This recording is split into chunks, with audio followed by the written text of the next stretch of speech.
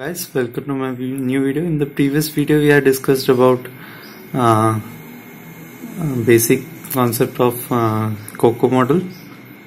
So in this we'll discuss the intermediate uh, COCOMO model.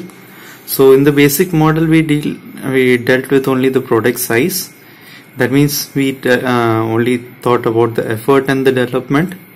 But here uh, we will see in this model, it recognizes those parameters that make an initial estimate, then multiply with the cost drivers. So in uh, this model, we have 15 parameters more, which determine the effort and the development time.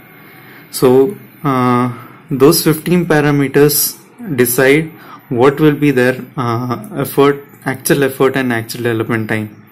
So first one is uh, product this uh, I'm given only the main ones main four but there are 15 so we'll see the main four.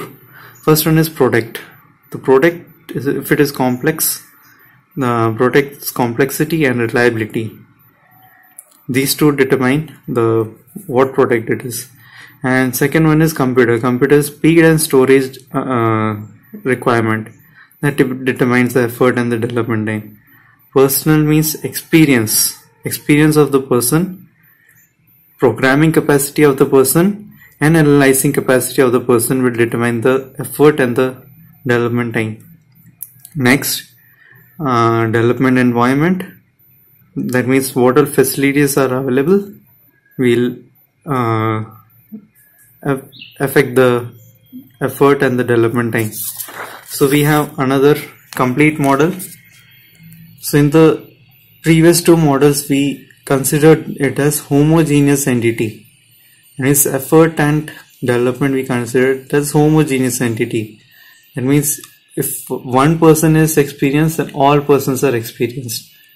That's what we thought. But if we go like that, then we'll uh, get a wrong uh, answer for the effort and the development time. So in this large system, we make small subsystems these subsystems have a large have a large different categories characteristics. Sorry, so each person has different cat, uh, characteristics. So someone may be experienced, someone is not experienced. So in this, what we do is we find out the difference in uh, the experience, like, uh, and we give a value for experience. So on a scale of ten, if I give a person uh, experience is 10 and some person who is newly joined the company so I can give him the experience 2 so all these difference we calculate and then we uh, make a conclusion on the effort and the development time. So this is what happened in uh, complete COCOMO model.